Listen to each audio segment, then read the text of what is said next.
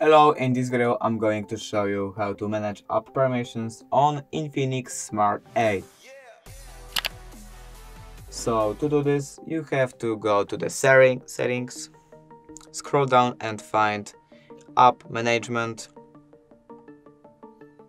go to the permission manager and here you can mm, manage your application as much as you want. For example, I'm gonna go to the camera and I would manage my apps here like this. And that's it. Thank you guys for watching. Bye.